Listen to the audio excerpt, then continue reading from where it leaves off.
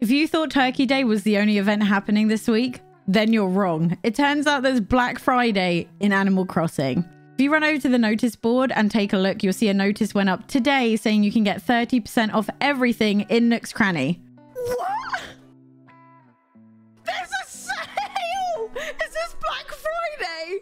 The sale starts November 26th and goes through till November 30th. During this time, everything in Nook's Cranny will be 30% off. Sadly, there's nothing changed on the inside of Nook's Cranny during this event, but Timmy and Tommy do mention it when you walk in. The outside, however, has all these sale signs, and honestly, I love it.